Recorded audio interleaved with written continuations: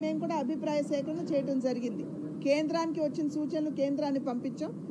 మాకు వచ్చినటువంటి కూడా మేము కేంద్రానికి పంపించాం. ఎందుకంటే మేము సెంట్రల్ మేనిఫెస్టోతో వెళ్ళాలి అని చెప్పి నిర్ణయించుకున్నాం కనుక కనుక ఒక కోటి సూచనలు ఏవైతే ఉన్నాయో వాటన్నిటినీ కూడా క్రోడీకరించి ఇవాళ ప్రజామోదం ప్రజాహితాన్ని ఆకాంక్షించేటువంటి మేనిఫెస్టో తోటి ఇవాళ నిన్న భారతీయ జనతా పార్టీ ముందు ప్రజల ముందుకు రావడం జరిగింది ఎన్నికల సందర్భంలో రెండు వేల ఇరవై నాలుగు ఎన్ని సార్వత్రిక ఎన్నికల నేపథ్యంలో.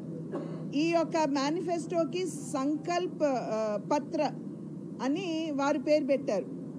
ఎందుకంటే సంకల్ప పత్రాన్ని ఎందుకంటే ప్రజాభిప్రాయం తీసుకున్నాము ప్రజల సూచనలు మేము క్రోడీకరించాము కానీ వాటిని ఆచరణలో పెట్టేటువంటి సంకల్పంతో దృఢ సంకల్పంతో భారతీయ జనతా పార్టీ ముందుకు వెళ్ళబోతుంది అనేటువంటి సూచన ఇవ్వడానికి దీనికి సంకల్ప పత్ర అని దీనికి నామకరణం చేయటం జరిగింది. గడిచిన పది సంవత్సరాల కాలం ప్రజలందరూ కూడా చూశారు.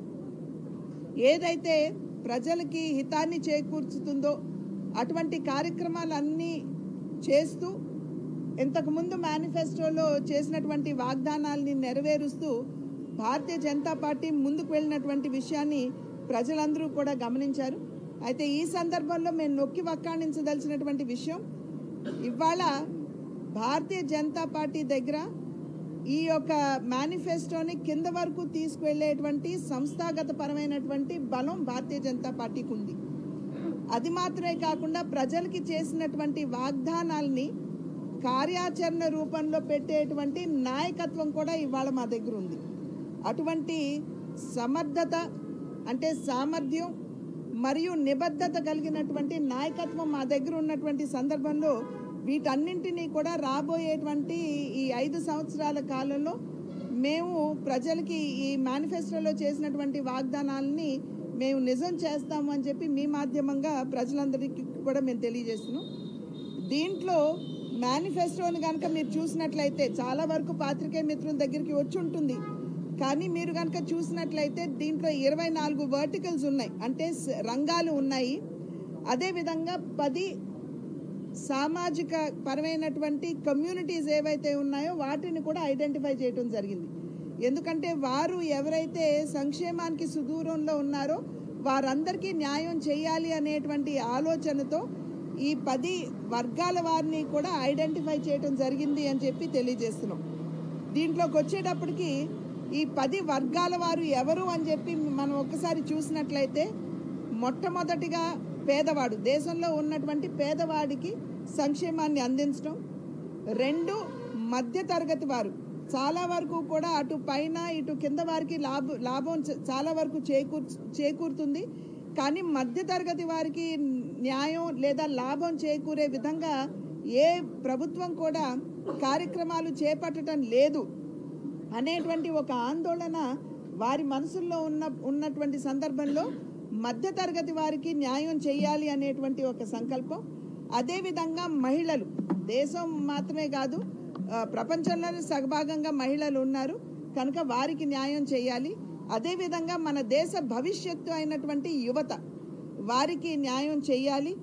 మరియు సీనియర్ సిటిజన్స్ చాలా వరకు కూడా ఏ విధంగా మనం మధ్యతరగతి వారు విస్మరింపుకు గురవుతారు అని చెప్పి భావిస్తామో అదేవిధంగా సీనియర్ సిటిజన్స్ కూడా ఒకంత వారికి మాకు అన్ని విధాలా కూడా న్యాయం లేదేమో జరగడం లేదేమో అనేటువంటి భావన ఉన్నటువంటి సందర్భంలో వారిని కూడా ఐడెంటిఫై చేసుకోవడం జరిగింది. ఇవాళ మన జనాభాలోనే పదిహేడు శాతం మంది సీనియర్ సిటిజన్స్ ఉన్నారు. అందులోనూ లాంజివిటీ అంటే జీవిత ప్రమాణాలు పెరిగినటువంటి సందర్భంలో లాంజివిటీ కూడా పెరిగింది. నిన్న మొన్నటి వరకు అరవై ఐదు సంవత్సరాలతో ముసలివారు అనుకునే వాళ్ళు ఇవాళ డెబ్బై రెండు డెబ్బై ఐదు సంవత్సరాలకు కానీ ముసలివారు అని అనుకోవటానికి మనకి అవకాశం లేదు. అదేవిధంగా రైతులు రైతులు అన్నదాతలు వారికి న్యాయం చేయాలి. వారు సంతోషంగా ఉంటేనే మనకి ఆహార భద్రత కావచ్చు మనకి మన దేశానికి మంచి కావచ్చు జరిగేటువంటి అవకాశం కనుక రైతులు. అదేవిధంగా మత్స్యకారులు.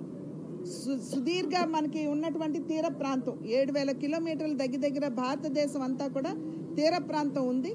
అక్కడ మత్స్యకారులు నివసిస్తున్నటువంటి సందర్భంలో వారికి కూడా సంక్షేమాన్ని అందిస్తూ వారి జీవితాల్లో మెరుగైనటువంటి మార్పులు తీసుకురావాలి అనేటువంటి ఆలోచన.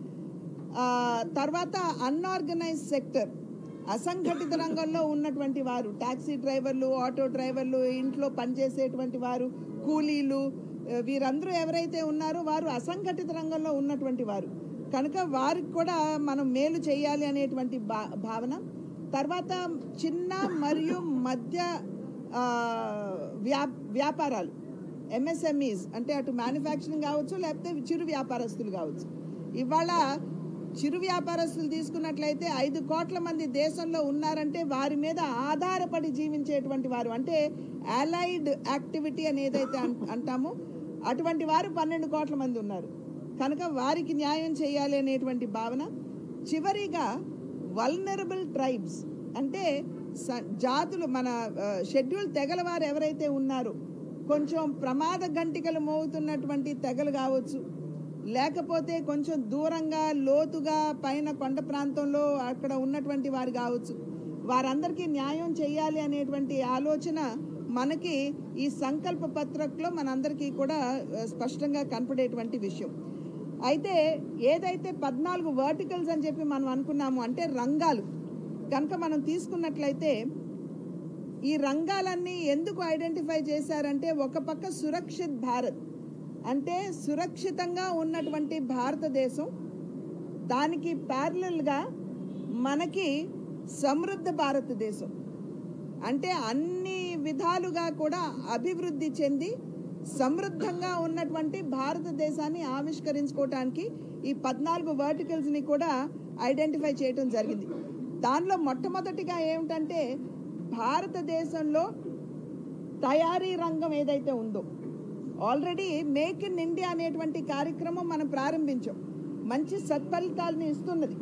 అయితే ఆ సందర్భంలోనే ఇవాళ భారతదేశాన్ని అంతర్జాతీయంగా తయారీ రంగానికి పేరు గాంచినటువంటి దేశంగా మనం అన్ని విధాలా కూడా రూపుదిద్దుకోవాలి అనేటువంటి భావన ఇక్కడ కనపడుతుంది. ఈ తయారీ రంగం అని ఎందుకంటున్నామంటే ఈ మ్యానుఫ్యాక్చరింగ్ కనుక మన భారతదేశంలో జరిగినట్లయితే ఉపాధి అవకాశాలు కూడా మన బిడ్డలకి పెరిగేటువంటి అవకాశం ఉంటుంది.